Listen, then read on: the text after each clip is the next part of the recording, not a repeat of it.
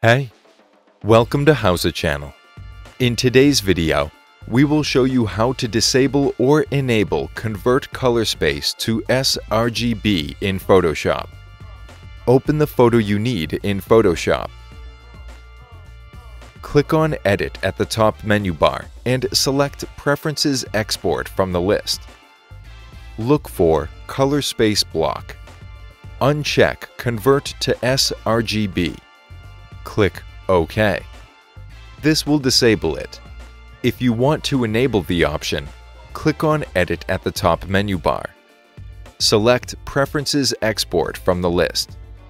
Look for the color space block. Check Convert to sRGB. Click OK.